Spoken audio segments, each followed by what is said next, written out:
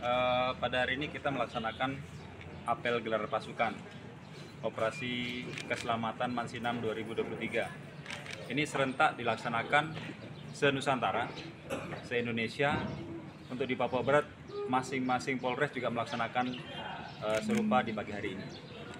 Kegiatan hari ini untuk mempersiapkan pengecekan selama 14 hari ke depan akan kita laksanakan gelar eh, operasi keselamatan Mansinam 2023. Operasi ini adalah operasi cipta kondisi eh, menjelang eh, pelaksanaan kegiatan kegiatan bulan Ramadan dan eh, Idul Fitri. Eh, pada kesempatan ini kami sampaikan bahwa operasi gelar pasukan tadi sudah disampaikan eh, sambutan ataupun amanat dari Pak Kapolda Papua Barat ini amanat dari Korlantas bahwa kegiatan selama 14 hari ke depan ini diutamakan kegiatan yang persuasif humanis di eh, tengah-tengah masyarakat. Dengan tema adalah eh, keselamatan berlalu lintas adalah pertama dan utama.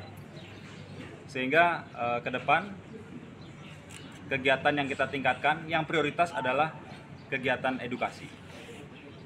Namun ada beberapa penegakan hukum yang dilaksanakan terutama menggunakan etle. Namun ada beberapa eh, pelanggaran kasat mata yang sudah eh, berkali-kali diperingatkan masih dilanggar dan berpotensi untuk menyebabkan kecelakaan lalu lintas akan tetap kita eh, laksanakan penindakan. Eh, akan kita laksanakan bersama-sama dan kami menghimbau kepada masyarakat agar bisa tertib berlalu lintas dari diri sendiri bukan karena paksaan dari petugas. Eh, pada hari ini kita melaksanakan apel gelar pasukan Operasi Keselamatan Mansinam 2023. Ini serentak dilaksanakan se-Nusantara, se-Indonesia. Untuk di Papua Barat, masing-masing Polres juga melaksanakan eh, serupa di pagi hari ini.